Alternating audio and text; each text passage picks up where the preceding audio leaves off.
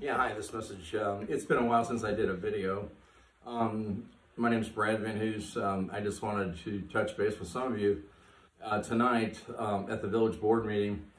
Um, Trustee John Buckley uh, has indicated that he, quote, I, he says, I can't wait to release the closed session from the third, July 3rd, 2024 village board meeting in which they have apparently have uh, gone in, what, what looks like they have clearly gone into closed session for the purpose of paying, or discussing bills, which was not a, a, a legitimate reason to go into closed session.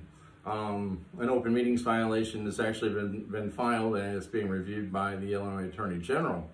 But in the meantime, Trustee John Buckley says that he would like, he wants to release these, uh, the closed session from July 3rd. So I say, Mr. Buckley, at tonight's meeting, I strongly encourage you to put a motion on the floor to release the closed session.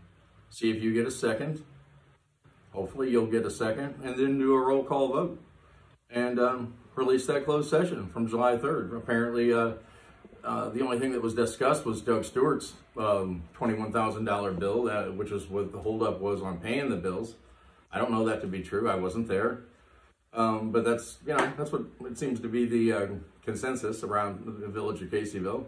So um, if that's the case, let's just make it, the, let's, let's call it what it is. Anyway, release the closed session, Trustee Buckley. Put a motion on the floor. I, I bet you money you get a second. Or you just talking smack. And while you're at it, what you got to say about this $40,000 in legal bills you're blaming on Dan Carey? I think it's total bullshit. And uh, if you if you got something to say, say it. Okay, Mr. Buckley?